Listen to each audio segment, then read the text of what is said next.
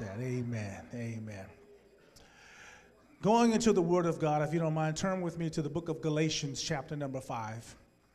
The book of Galatians, chapter number 5. Again, we're going to be looking at verses 22 through 26 as we are sharing concerning holy living. As we are sharing concerning holy living. While you're finding Galatians chapter 5, I'm going to ask if you're able to do so to please stand for the reading of God's word. And just share with you that as you begin to dig into the Word of God and be exposed to the Word of God, I have found personally that those things that you are being exposed to start coming at you.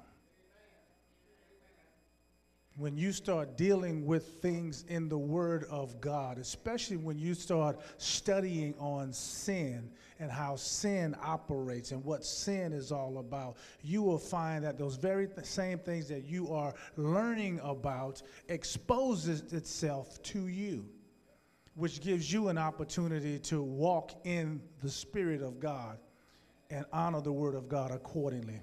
I, I, share that because for me personally, whenever I deal with things of this matter in particular, I always seem to have a rough week following. I'm just being honest with y'all. I mean, it's, it's always the devil coming after me.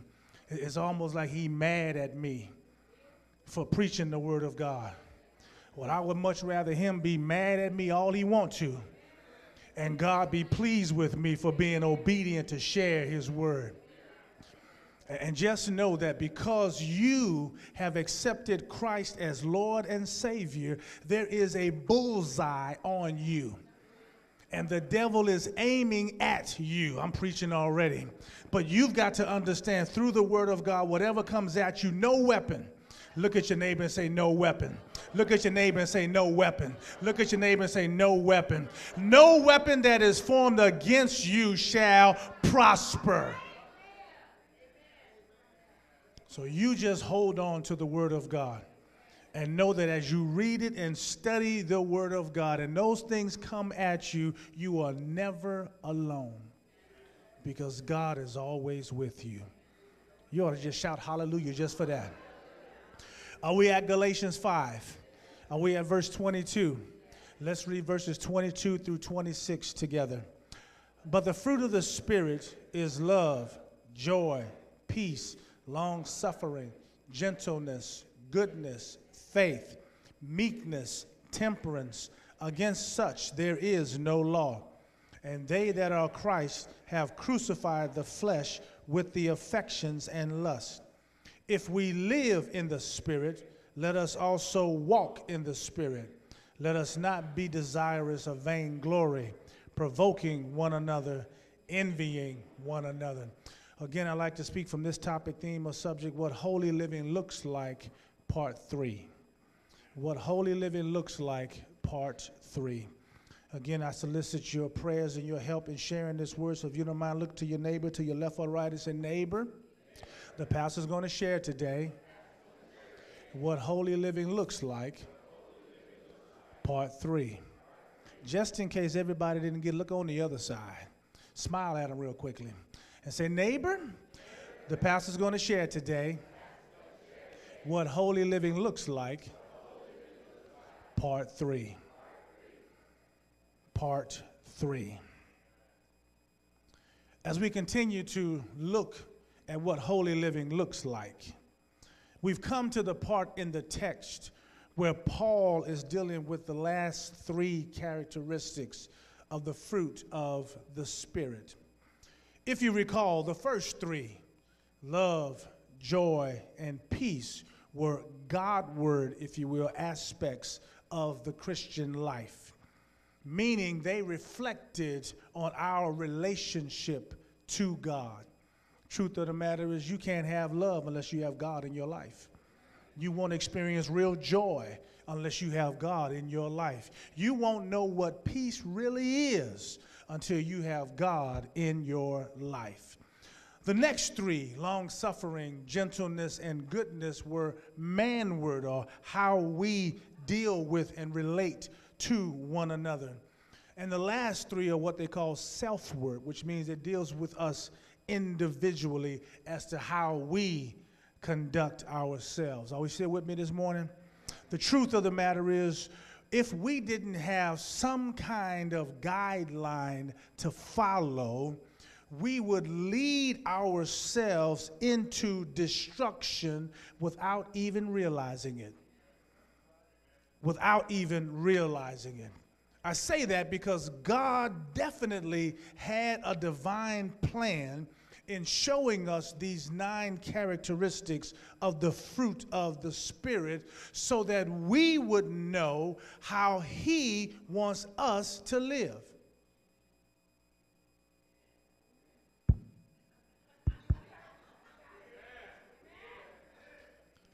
He divinely put that in His Word so that we would know how He wants us to live.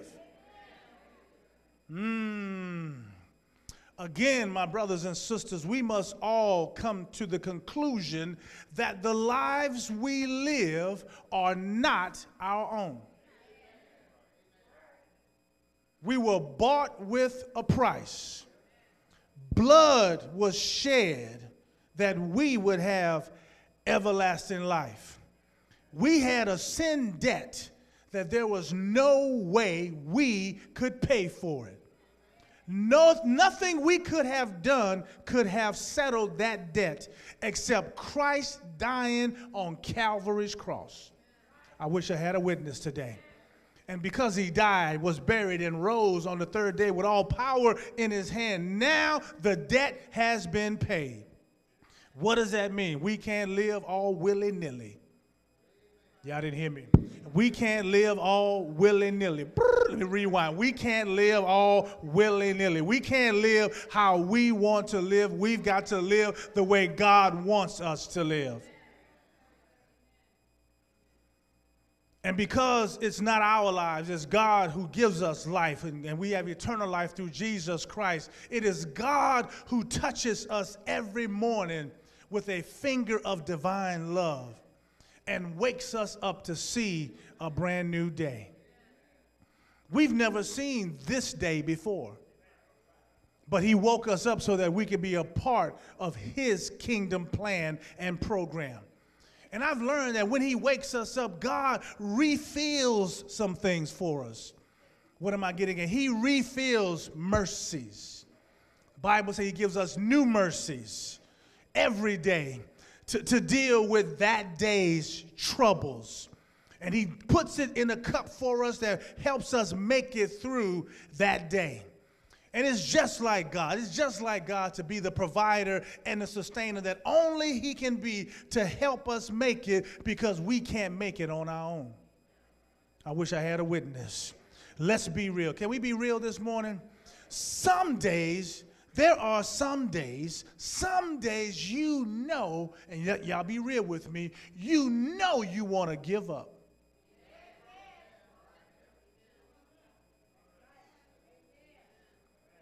Some days you are at that place where all you want to do is throw in the towel. Count me out. You through. There are even some days when you look up to heaven and say, Lord, just rapture me out of here right now. Because you know you don't want to deal with what's going to take place. But praise God for new mercies. Y'all ought to give God some praise for new mercies. You see, those new mercies help us to deal with the new troubles that come on those new days. The Bible says in Lamentations 3 22 and 23, it says, It is of the Lord's mercies that we are not consumed, because his compassions fail not. They are new every morning. Listen, somebody say, Every morning. Great is thy faithfulness. Think about that. They are new every morning. Great is thy faithfulness. What are we saying? He is faithful to make sure the new mercies show up every day.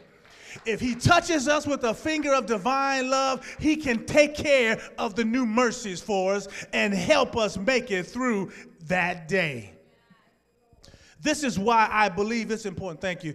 Why I believe it's important for us to know what holy living looks like because it's a requirement and an expectation from God. If I can just pull back just a minute and put a bookmark here. Thank you, Holy Ghost. When you're on your job, there is a certain expectation as to how you are going to conduct yourself. You can't go to the job dress any kind of way you want to. There's a certain level of respect, decency, and decorum that comes with the job. Even folks who work fast food have uniforms. So they expect you to wear the uniform and they expect you to conduct yourselves accordingly. God has a requirement too. He expects us to dress accordingly. He said, put on the whole armor. And when you got the armor on, he expects us to live appropriately, understanding the fruit of the Spirit and to deal with people accordingly. Which means, again, we can't live any kind of way we want to. We've got to live God's way. And I've said before that we serve a conditional God. And because He's conditional, He expects us to meet His conditions. Amen, somebody. I got to go back to decorum if I can just a minute. I was looking at Facebook the other day, and there's a lady uh, on the job whose boss told her that her skirt was too short. And so the next day, she was required to do a presentation, and she did the presentation in her underwear.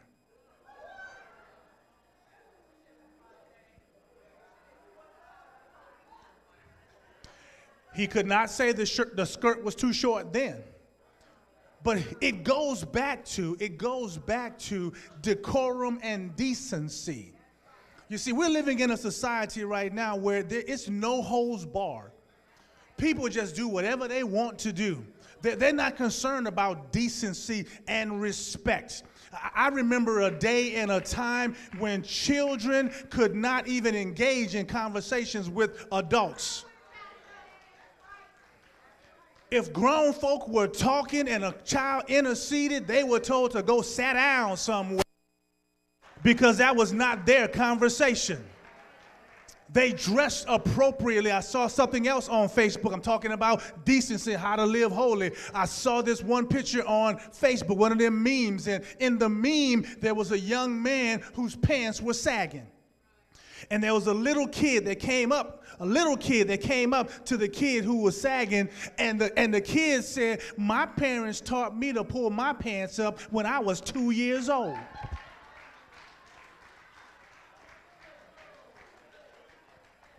I, I just want to be real with you. My parents taught me don't expose your underwear in public.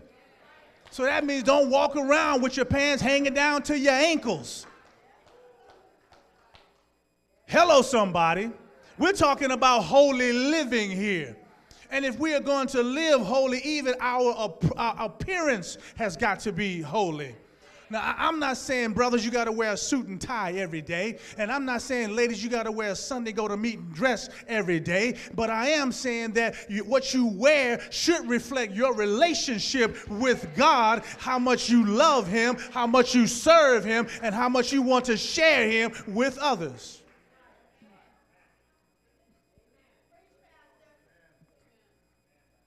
God wants us to apply His conditions of holy living to our lives. And if nothing else, and if nothing else, the world needs to see what holy living looks like. And if the church won't do it, then how will they ever see it?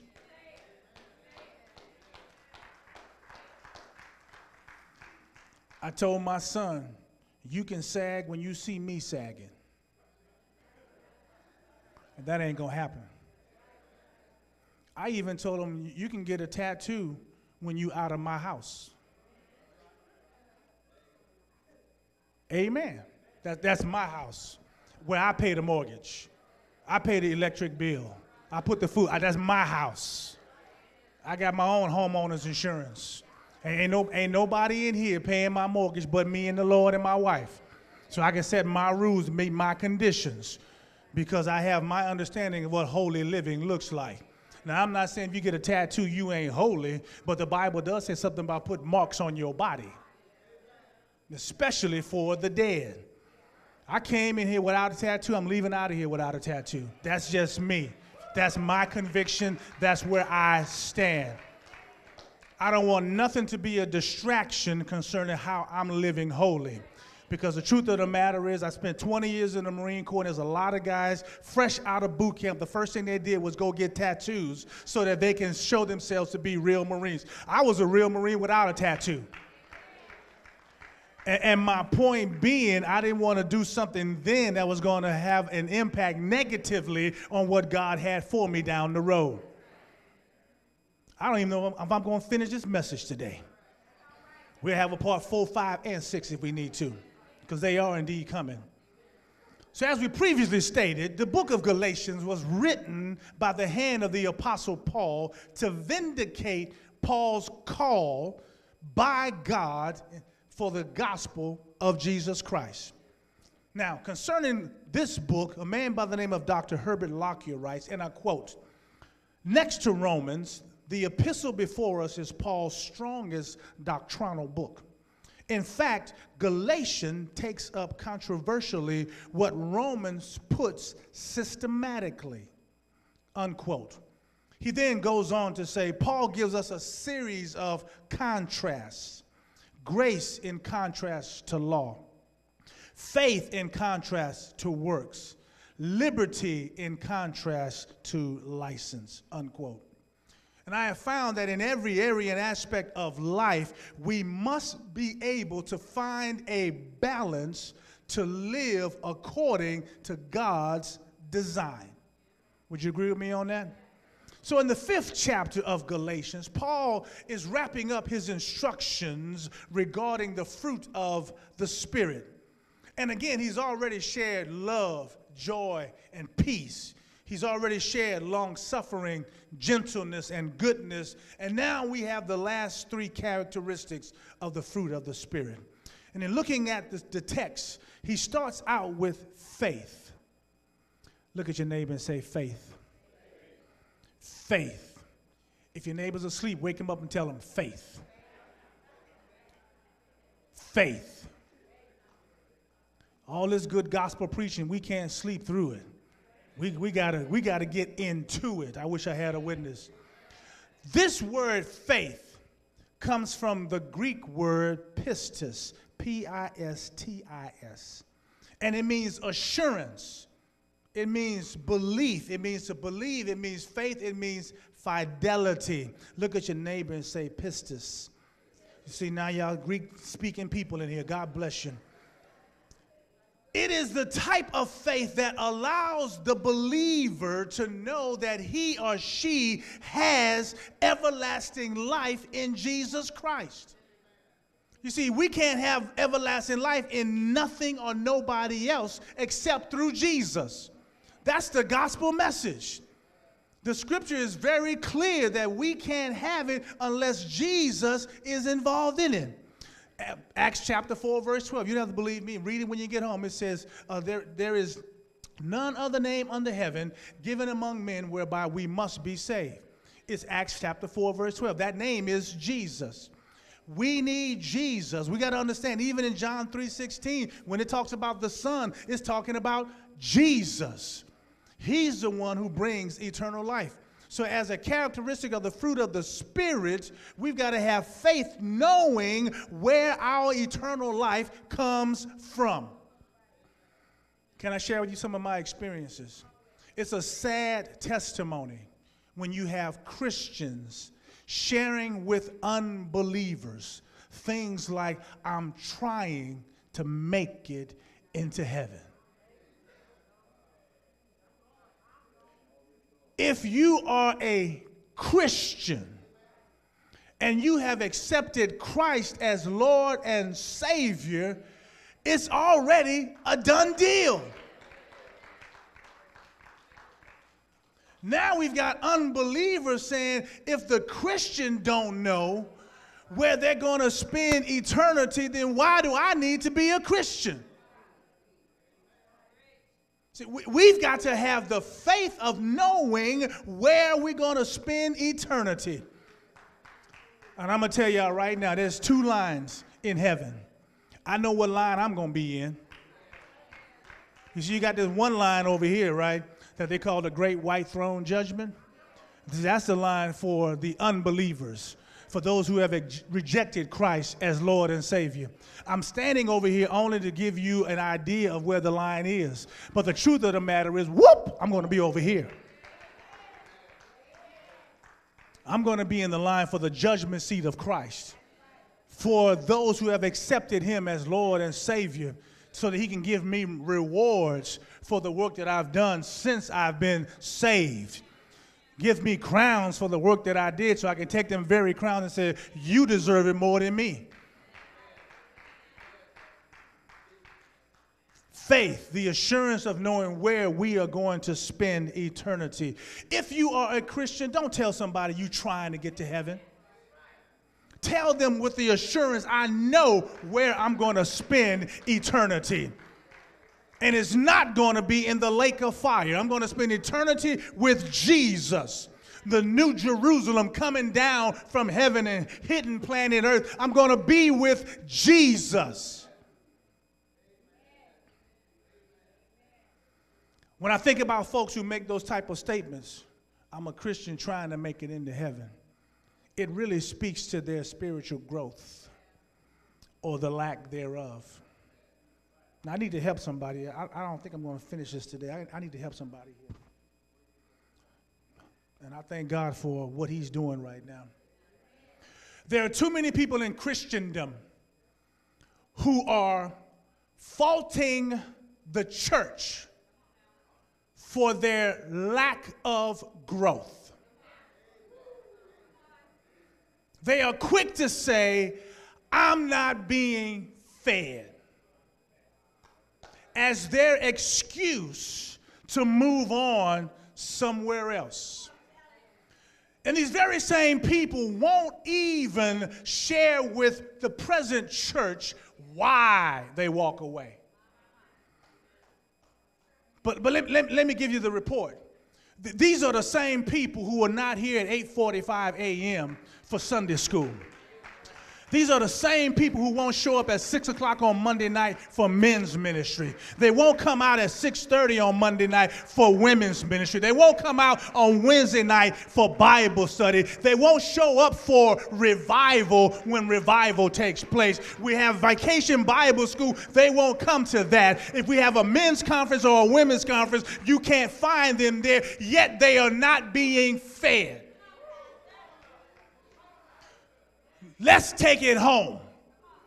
When you hungry at home and you in your bedroom and you start getting hunger pains, you get up out the bed and you go down to the kitchen where the food is so you can get something to eat. And here it is, we lay out a spiritual buffet in this place so that you can get all the spiritual nourishments that you need, so that you can have the faith and assurance of knowing where you are going to spend eternity, and then you say, I'm not being fed. You ain't being fed because you ain't coming to the kitchen. If you get to the kitchen, the food is waiting on you. Jesus says, He that hungers and thirsts after righteousness shall be filled. Help me, Holy Ghost. Whoop! There it is.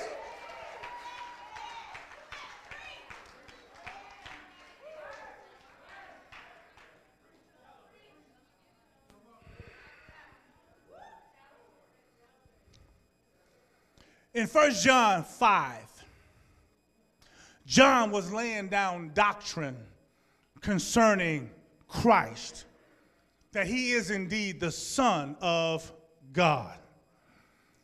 And while he's laying down this doctrine, he makes the statement that he that believes on Jesus, the Christ, is born of God. You see, what we deal with in faith really has nothing to what we do physically. It's really in what we believe and who we believe. As a result of that belief, now some physical things will take place. What am I trying to say? You don't work for salvation, you work because you're saved. And John breaks it down in 1 John 5 11 and 12. He says, And this is the record that God hath given to us eternal life, and this life is in his Son. Son, capitalized here in this verse, always refers to Jesus Christ. Then he goes on in verse 12 and says, He that hath the Son hath life, and he that hath not the Son of God hath not life. And if you have the Son of God, that means you want to share life with other people as well. Again, this faith that Paul is talking about is not just the faith we have in Christ, but the faith that is operating through us to share our faith with others. Because when you got something you like, you can't wait to tell somebody about it. Girl, I went to the mall the other day and they had these really cute shoes. Matter of fact, hold on a second. I'm gonna take a picture and send it to you.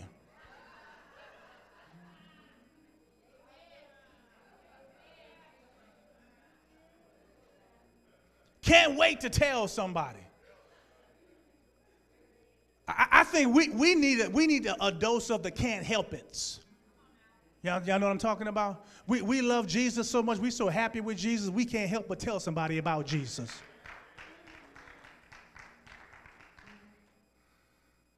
Man by the name of Kenneth S. Wuest says, and I quote, faith is from pistis, the Greek word we talked about earlier which does not refer here to faith exercised by the saint, but to the faithfulness and fidelity as produced in the life of the yielded Christ by the Holy Spirit. Unquote. Because he's operating in us, he's working through us. Henry Blackaby said that God wants to work through us to get his work done. Problem is, a lot of folks just ain't working. A lot of folks just sitting on the sidelines waiting for somebody else to do it. They see things need to be done. They have the capability and the capacity to do it, but they won't do it because they're waiting for somebody to ask them to do it. Can I be real, y'all? I, think today is a, a real pastor day. I need to be real.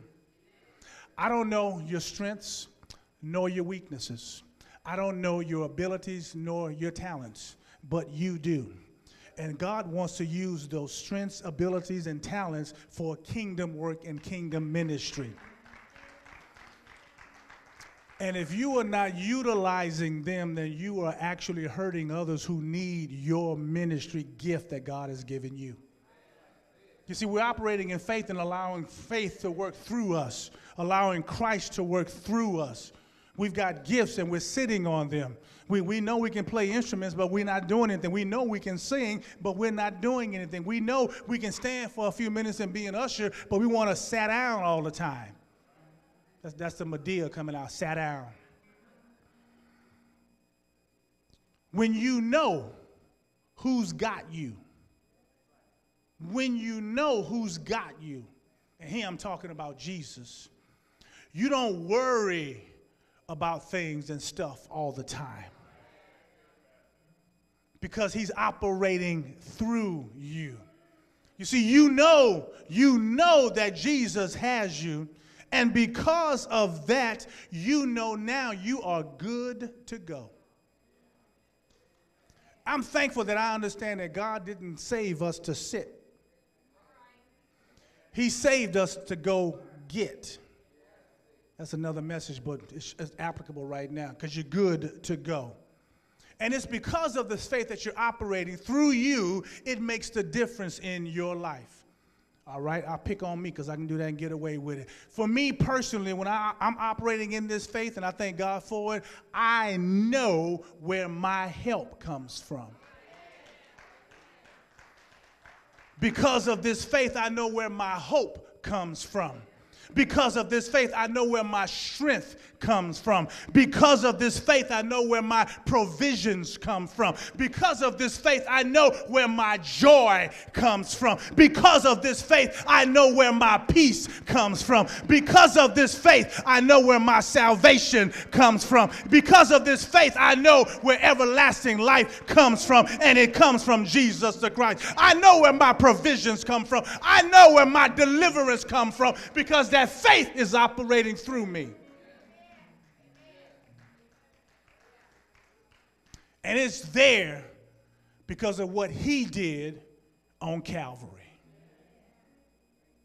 We need to know what he did on Calvary. Now, Paul moves on. Hopefully, I won't be here too much longer. And he starts dealing with meekness in verse 23. Look at your name and say meekness. Again, it comes from a Greek word. This Greek word is prasia. P R A C S I A, I'm sorry, P R A S I A, prasia. It means gentleness, it means by implication, humility. There's a belief in our society that a meek person is a weak person. A meek person is a weak person. Jesus himself said of them in Matthew chapter 5 and verse 5, he says, Blessed are the meek, for they shall inherit the earth. Didn't say the strong, didn't say the powerful, it, it didn't say the ones with the S on the chest. It said, Blessed are the meek, for they shall inherit the earth. You see, the person operating in meekness is really operating on two levels. Number one, he or she has a humble state of mind. Y'all catch that? Humble state of mind. They are not concerned about the big I's and the little U's, but rather they are concerned about everybody.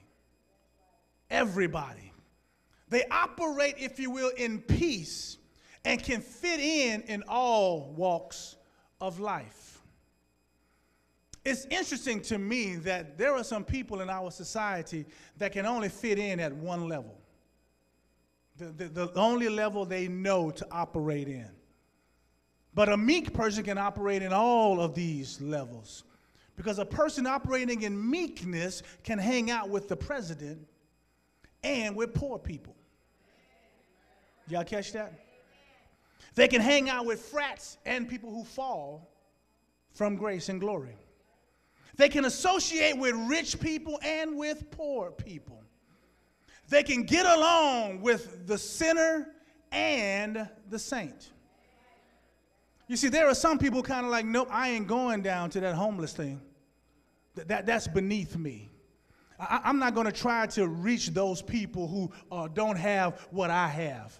You see, they're not operating in meekness, they're operating on their level. If you got a big house and a big car, we can hang out. If you got no house and no car, we cannot hang out. That's not operating in meekness. You see, a meek person is not about what people have, it's really about who people are.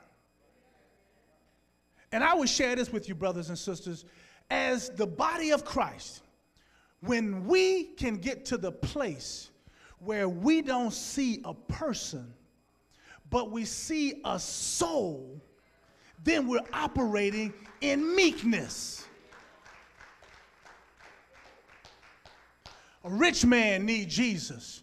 A poor man needs Jesus. Can I go down the line? A pimp needs Jesus. A prostitute needs Jesus. A drug slinger needs Jesus. That young lady who has been pulled into sex trafficking, she needs Jesus. That drug addict needs Jesus. I wish I had a witness here today. That person who does not know Jesus needs Jesus. And if we're going to operate in meekness and holy living, it's our responsibility to share Jesus with them and watch Jesus pull them out of what they're in.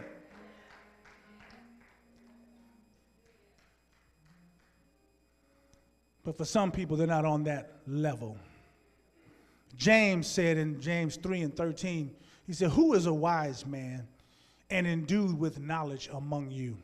Let him show out of a good conversation or lifestyle, which is what conversation means here, his works with meekness and wisdom. Let him show you his lifestyle through meekness and wisdom. And then, secondly, the person operating in meekness has a strong state of mind. First, they got a humble state of mind, now they got a strong state of mind. This person operating in meekness does not let wrong continue to run wild. Did y'all catch that? Does something when wrong takes place. Nor will they let injustices run rampant. We can fix a lot of stuff in our society if we just find ourselves in the voting booth.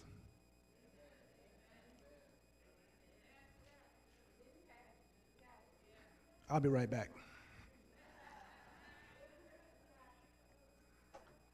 We can make some changes in our society if we would just find ourselves in the voting booth.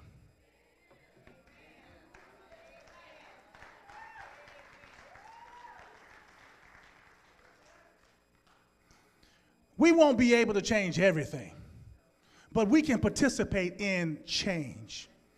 And holy living requires us to be part of the change. We can't let injustices run rampant. Here in our society, we've got elections every two years, basically. And I'm here to tell you right now, I gave 20 years of my adult life so that people can make it to the, the voting booth every two years. I wish we would just be meek enough to go to the voting booth and make a difference. The person operating in meekness does not let it let wrong just run wild all the time. Because you see, that person, if they see that someone is suffering, meekness steps in and does what it can to help. If evil is being done, meekness does what it takes to stop or correct it. I'm going to preach anyhow. I'm going to finish this message if it takes 2:30. If evil is running rampant and indulging itself, meekness actually strikes out in anger. However, and this is crucial for our understanding, the anger is always right at the right time. And here's what I'm getting at Jesus is the epitome of meekness. I wish I had a witness. He cleansed a man who was suffering from leprosy because he had an issue to deal with. He cast out demons from a man who was in the synagogue one day. And Jesus turned over tables in the synagogue because they were selling unclean merchandise. And I'm here to tell you right now, it was the right time because the house needed to be cleansed. Jesus himself said in Matthew 21 and 23, he says, It is written, My house shall be called a house of prayer, but ye have made it a den of thieves. And some people say, Well, Jesus sinned when he got mad. No, he didn't. You know what he did? He got mad enough to turn over some tables to set some stuff straight. Bookmark. I think some parents need to start getting mad because they're letting children get away with way too much. And then what happens is when they grow up and now you can't, you can't control them or can't tell them anything, now everybody else got them. Now, y'all don't want to hear truth, but that's truth. I'm talking to somebody just yesterday telling me about there are some, certain things you can do with respects to discipline, disciplining children. Well, the final authority, which is the Bible, lays it out for us. We follow the Bible, we're going to be okay. I need to say that again. We follow the Bible, we're going to be okay. As I hurried to my seat, as I hurried to my seat, the last thing that Paul talks about is temperance in verse 23. Everybody say temperance. Again, it comes from a Greek word. That Greek word is ekkratia, and it means to master and control the body or the flesh with all of its lust. It means self control. Y'all hear me? The master of desire. You master desires. You master appetites and passions. Especially, I'm reading as this, this is the definition, especially sensual urges and cravings. It means to be strong and controlled and restrained. Temperance. Which basically means everything that look good ain't good for you. Just because you want it don't mean you got to go get it. That's a Pastor Perkins definition of it. Just because you think you big and bad enough to go after it don't mean that you need to go after it. You've got to be able to control these type of things, which is what temperance is. And when you're operating in the fruit of temperance, you have now yielded your life to the Holy Spirit and are now allowing temperance to control all aspects of your life. You see, you operate in temperance when you share the gospel of Jesus Christ with unbelievers. Let me help somebody here. There are some people who are scared to tell somebody about Jesus. Scared to tell somebody. They're scared that the, the, the person on the other end, the unbeliever, is going to say, Well, where's that at in the Bible?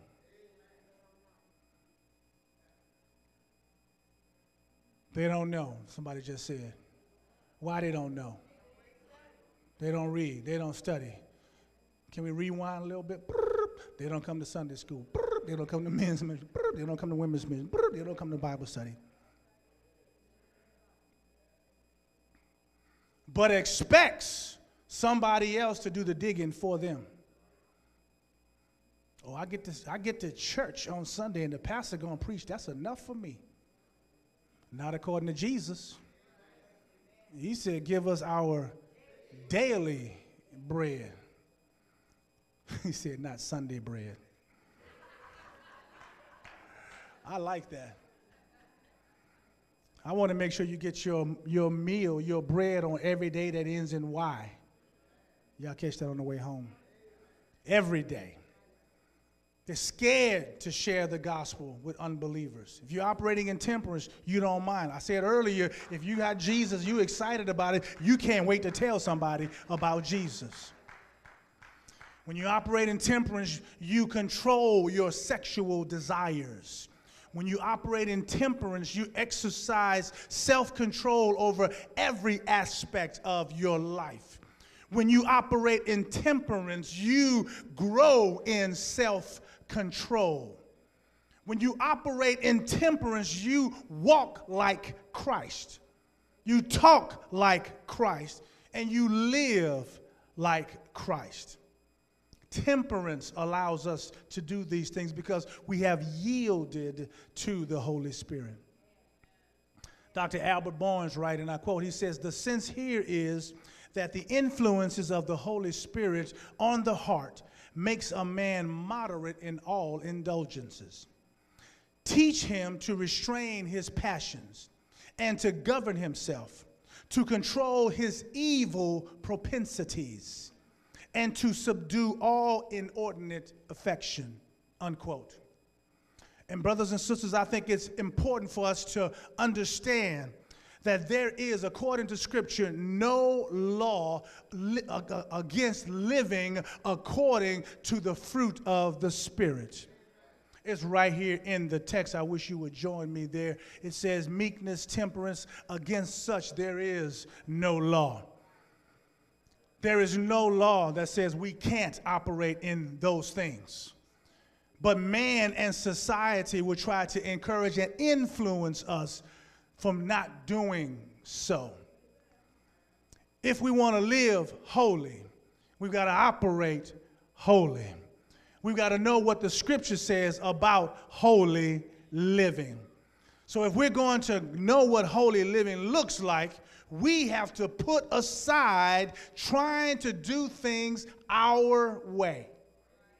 I'm almost through. And begin to do things God's way. I wish I had a witness. with respects to spiritual living, Peter makes us aware of what's called spiritual arithmetic. You're looking at me like, where is math in the Bible? Well, you know, God doesn't just add, He multiplies. Two fish, five loaves of bread, multiplication. Isn't that arithmetic? Okay, I know I made it through high school. Concerning spiritual arithmetic, and again, I'm almost through. In 1 Peter chapter, five, chapter 1, verses 5 through 8, the Bible says, And besides this, giving all diligence, here's where the arithmetic comes in. Add to your faith virtue, and to virtue, knowledge, and to knowledge, temperance, and to temperance, patience, and to patience, godliness. Y'all still with me? And to godliness, brotherly kindness, and to brotherly kindness, charity. For if these things be in you and abound, they make you that ye shall neither be barren nor unfruitful in the knowledge of our Lord Jesus Christ. You see, holy living requires us to grow constantly. We should be adding to those things that God has already placed in us. We should be growing in those things. And it's a very sad testimony when you have someone who is a Christian and you ask them uh, how long they've been walking with the Lord, and they tell you they've been walking with the Lord a long time, and you find out they know at that time the same thing they knew when they started walking with the Lord because they have not grown in their relationship with the Lord. Can I bring it home? All of the married folk in here all of the married folk in here, and you've been married for as long as you've been married, some a few weeks, some decades. The question is Is your love for your spouse the same today as it was when you got married? If it is, there's something wrong with your relationship because your love should be growing stronger.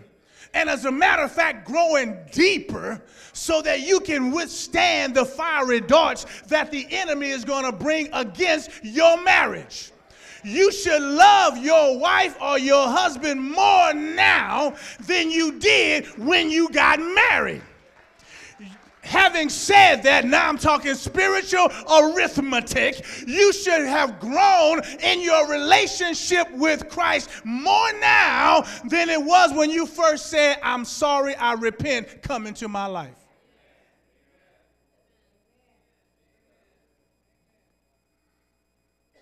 Our daily lives should be an indicator that we grow in grace and in the knowledge of our Lord and Savior, Jesus the Christ. To him be glory both now and forever. Amen.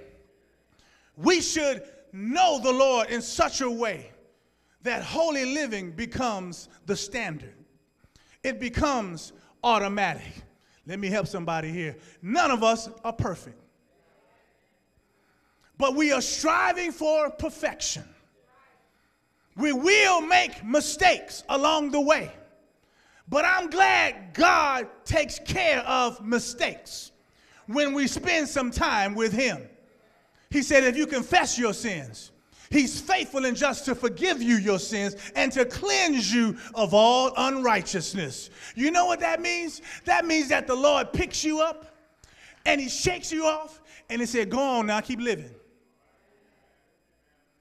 And he's so awesome, he don't bring it up no more. I know how I said it. It wasn't good English, but no more. I'm from Louisiana. No more. Look at your neighbor and say no more. So, in order for us to know what holy living looks like, we've got to know the one who's holy. And his name is Jesus the Christ. What do we know about him? We know he's the Alpha and the Omega. Mm, he's the first and the last. He's a friend that's sticking closer than any brother. He's the King of kings and he's the Lord of lords. Do y'all know who I'm talking about? He is our blessed hope and our crucified King. He's the deliverer of the sinner and the eternal Father. I'm getting excited talking just about Jesus. He's the great I am and the heavenly mediator that we need with the Father. He's called Emmanuel, God with us. Hallelujah. He's the just one and the kinsman redeemer. But more than that, he's the Messiah and the Savior of the world. Many people died on a cross, but only one died for the sins of the world, and his name is Jesus the Christ. While he was hanging between two thieves, one thief said, If you are the Savior, get down and take us down. He looked at the other one and said, If you are in fact the Savior, when you get to your kingdom, remember me. And Jesus looked at the man and said, This day thou shalt be with me in paradise. You can't make a promise like that unless you are the King of Kings. You can't make a promise like that unless you are the Messiah. He said, You can't take my life, but I'll lay it down that you might have everlasting life. I got to ask this question before I sit down somewhere. Are you glad that Jesus laid down his life? Are you glad that Jesus went up to Calvary? Are you glad that Jesus hung on Calvary's cross? Are you glad that Jesus said, It is finished and he gave up the ghost? Are you glad that they put my Jesus in a borrowed tomb? Because when you borrow something, you gotta give it back. Are you also glad that early, mm, early, mm, early, early, early on Sunday morning, Jesus got up with all power in his hands.